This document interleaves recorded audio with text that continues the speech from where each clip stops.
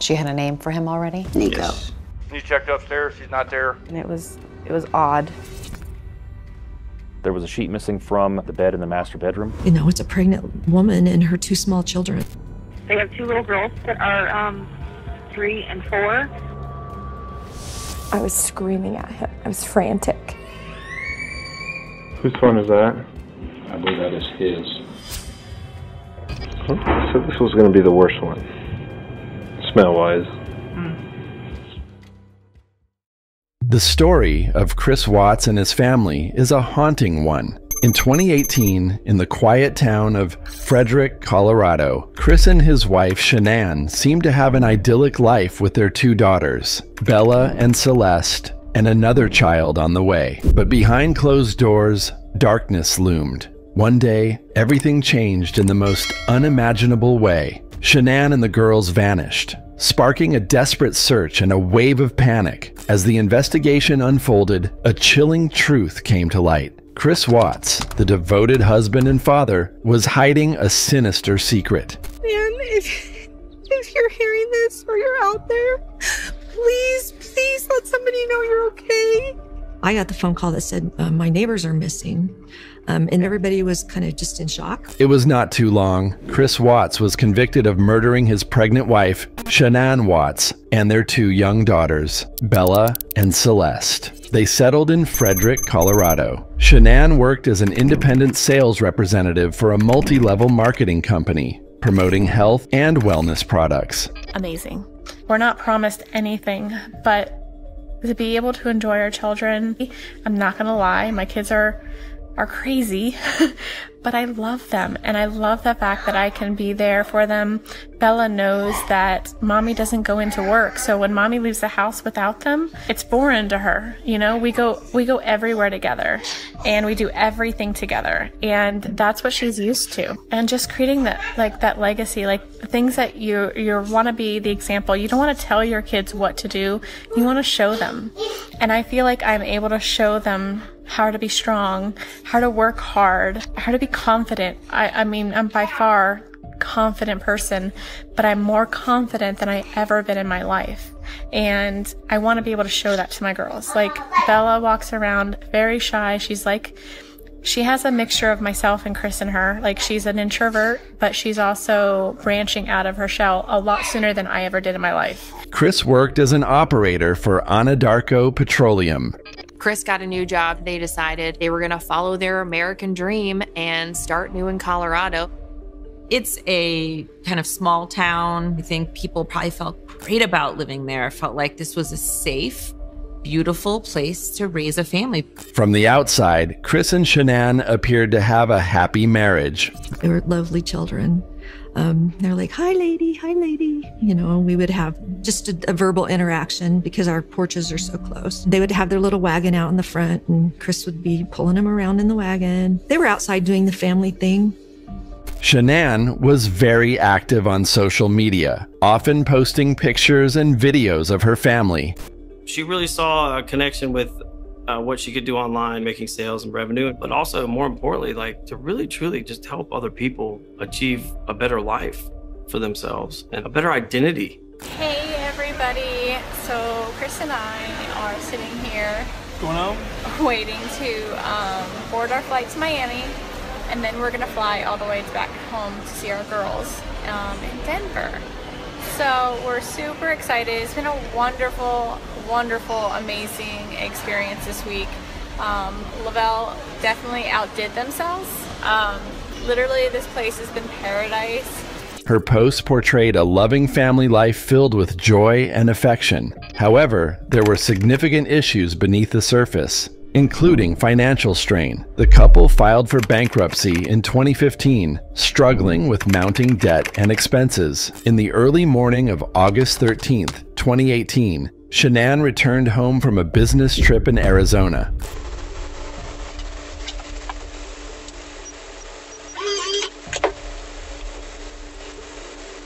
I just told her, if you need help in the morning, let me know. And we gave each other a hug, and I watched her go into the house. At that time, she was 15 weeks pregnant with their third child. Gilgo Beach has been used to discard human remains for some time. We could have a serial killer. Me for some time. We could. According to Chris, they argued after she returned. Chris claimed he told Shanann he wanted a separation, which led to a confrontation. However, on August 13th, 2018, later in the day, Chris reported Shanann and the girls missing. He called Shanann's friend, Nickole Atkinson, who had dropped her off earlier, and expressed concern that Shanann was not responding to messages and had missed a doctor's appointment. She was supposed to go to a doctor's appointment and she hadn't updated her friend about this doctor's appointment. She's trying to get a hold of her, but her phone is off. The girls were going to have their first day of school. You would expect to hear an update on social media like, oh my gosh, they were so cute. Here's a picture. This was a day that you would expect all sorts of updates online from somebody who who already regularly updates everyone and there was nothing. A lot of people were very concerned. You know, where are they? You know, it's a pregnant woman and her two small children. Atkinson called the police, and a welfare check was conducted at the Watts home. Hi, Cece. My name's Nickole, and I'm calling because I'm concerned about um, a friend of mine. Um, I dropped her off at her house at 2 in the morning last night because we were out of town together and we were on the way back from the airport, and um, was having issues, and she's pregnant. And I haven't been able to get a hold of her this morning, and I've gone to her house, and her car's there, and stuff like that, but she won't answer the door, she won't answer phone calls, she won't answer text messages. And I'm just really, really concerned. And she had a doctor's appointment this morning and she didn't go to it. And I'm just, I don't know what to do. I've called him and talked to him, and he said that she went on a play date with her other two daughters. But, like, if she went on a play date, they're both in car seats. Why would she not take her car? Perfectly understandable. Do you happen to know her address, Nickole? I'm at the outside her house. It's 2825 Saratoga Trail in Frederick. And then I said, like, Chris, can you just come home and check to make sure she's okay? Because the shoes she wears every single day are right inside her door. So um, we were out of town for work, and we flew in last night. Our flight got delayed, and I dropped her off at her house at 2 in the morning. And I have called and texted. I've come to her house. She's not answering the door. She's not responding to text messages, phone calls. I've had other friends reach out to her. None of us can get her to respond to us. Um, they have two little girls that are um, three and four. I mean, there's no movement in the house whatsoever. And he states that she didn't take them to daycare and was going to go on a play date, but they're both in car seats and their car, her car is here. He called me. And I was screaming at him. I was frantic. You need to get to the house. Nikki's calling the police so they can break down the door. He said, No, don't call the police. I don't want to get them involved. I said, You're you're an idiot and you need to get to the house because something's wrong.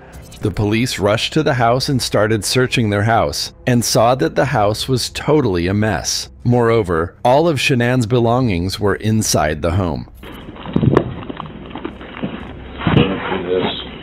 Whose phone is that?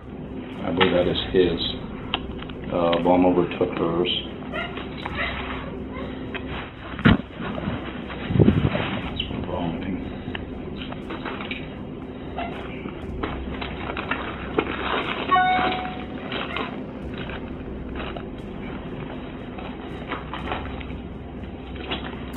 All ran through the house kind of looking for her. You checked upstairs, she's not there. And it was it was odd the things that you did see.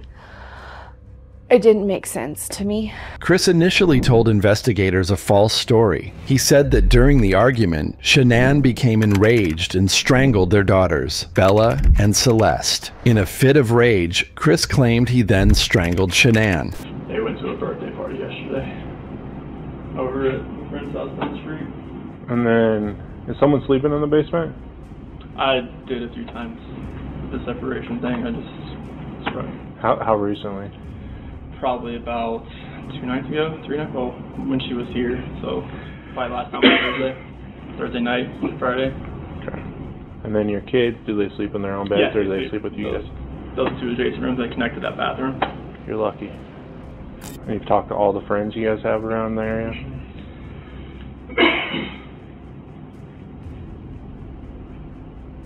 And what was the conversation this morning you guys had? It was about uh, selling the house and separation. And how'd she take that? We were both pretty emotional. It was both crying. And then did you see her before you went to work? Did Hmm? you say anything to her? When she went back, like when she told me she was gonna go to her friend's house and be with the kids, take the kids with her. Oh, she told you she was taking the kids to Yeah. her friend's house. Yeah. She didn't say who though. Oh no, no, no. But she was still in bed when that happened. And their beds would have definitely been made. Yes. And her sheets wouldn't have been stripped off the bed. No. There was a sheet missing from the bed in the master bedroom. Chris comes over to your home along with the police to watch that surveillance footage. Yes, he was standing right in my living room, basically watching it, Some of the tools that I have in the toolbox. and he looked very frantic. Park out there on the side. I just want to get everything back. She didn't text me, which is really odd because she texts me every morning. Chris appeared on local news stations pleading for the safe return of his family. I'm just hoping right now that she's somewhere safe. And maybe she's just, she's there. But right now it's just like, if she's vanished, like, I want her back. So bad. I want those kids back so bad. Her friend thought to pay a visit. What happened when you got to the house? I couldn't get in. It was locked from the inside. And then I called Chris and asked if he knew where Shanann was. And he said she went on a play date. And I said, Chris, her car's in the garage. How could she have gone on a play date when both Belle and C's here in car seats? However, inconsistencies in his story quickly raised suspicions, so they brought him to the Colorado Bureau of Investigation.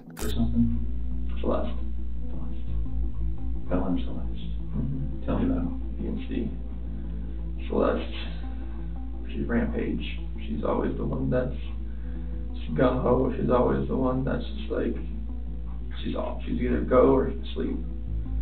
She's always one growling. She's she's always pretending she's a tiger. Bella, she's the calm, the mothering one. She's the one that's always you okay? You okay? You fine? she's just she's just the sweetest little girl. She's the one that favors me more, and Celeste is the one that favors Nan more. From the way I look at it. You see some baby pictures of me and Bella. It's just like, oh, she, the other way around.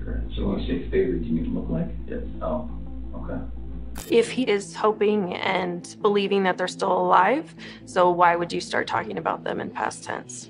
I definitely needed to know what was the reason for the separation? What was the reason behind wanting to possibly end his marriage? If you weren't having an affair, Chris, um, what is it?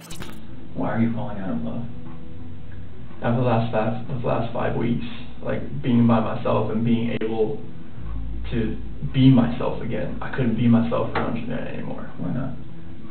It was like I was walking, just like, if, like you know, like walk on eggshells type thing. It's kind of like you don't, you feel like you're always doing something that's wrong. It's like you, you feel like you're never like. Doesn't make does that make sense at all? The timing doesn't make sense to me. While questioning him, the detective checked his phone and found some bold photos with his coworker. In the months leading up to the tragedy, Chris and Shanann's relationship was severely strained. Chris began an extramarital affair with Nichol Kessinger, a coworker. Police found romantic tour pictures and some nude pictures of her on his phone. That he very clearly and for quite a period of time had been having an affair with a coworker at the oil company that he worked at. He had been lying to Grahm Coder the day before. If you're going to be deceitful with law enforcement about that, what else have you been deceitful about? It changes for us the possible motive. If Chris did do something to his wife and children, this could be the catalyst for that. Or if she left, did she really know about this other person? It kind of brings a whole different dynamic into the investigation. The affair started around June 2018, and Chris reportedly told Kessinger that he was in the process of separating from his wife. I definitely wanted to see if Chris was going to keep lying about the infidelity, so I brought up if he was having an affair. Did she accuse you of anything? I mean, she, being a woman, I mean, she's like, is, is there somebody else? I'm like, no, there's nobody else. I mean, this is this is me talking to you about this. This isn't it like somebody came into my life and took me from you. This is, you know, me talking to you. This is just me. Mm-hmm. Like, there's no outside influence coming from this. Like, this is what's going to. This is this is how I feel. Did she seem like she believed that? When I told her it was nobody else, Uh-huh. yeah, she. I mean, I believe her when you know, like if I, I believe that she would never have like an affair on me, and she knows that I wouldn't do that to her. And the coolest thing about this is right now, there's only one person in this room that knows what the truth is. And in about five minutes, there's gonna be two of us, so that's the coolest part, okay? And then I can go share that with them out there, okay? Okay. I wanted Chris to know that the gig is up. If he had something to do with her death, I was about to find out. Did you physically cause Shanann's disappearance? No, Do you know where Shanann is now? no, Are you lying about the last time you saw Shanann? no, Do you know where Shanann is now? no. Chris failed the polygraph test. At that point, I took my computer out of the room to grade the charts. Grading scale for someone who is a truth teller, we would consider them to be a plus two or higher, and we would consider someone to be deceptive if they were a negative four and below. Chris Watts scored a negative 18. He failed every question on the test. That deception on that polygraph causes Watts to become our primary suspect. Confronted with the results, he confessed to killing Shanann, but maintained the false narrative about her killing the girls.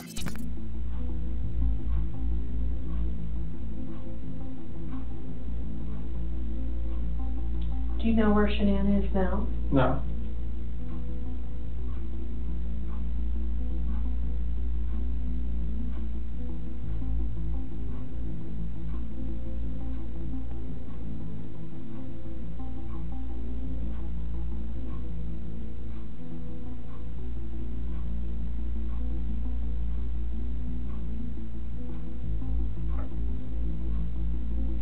Were you born in 1985?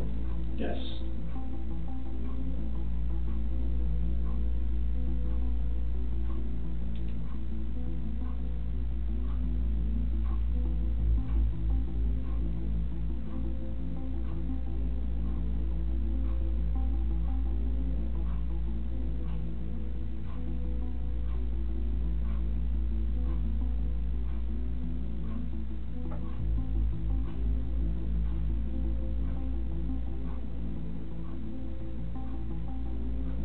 Before 2018, did you ever say anything out of anger to a loved one? No.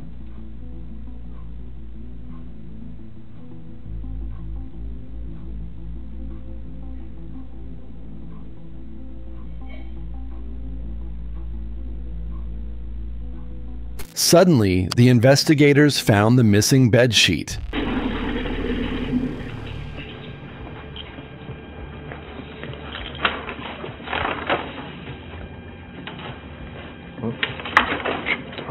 that in the bag? Yeah.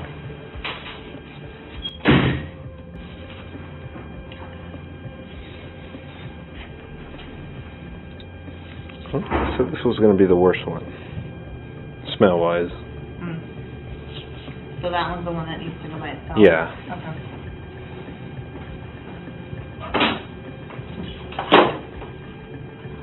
I think we can just like drape it over this bar. See.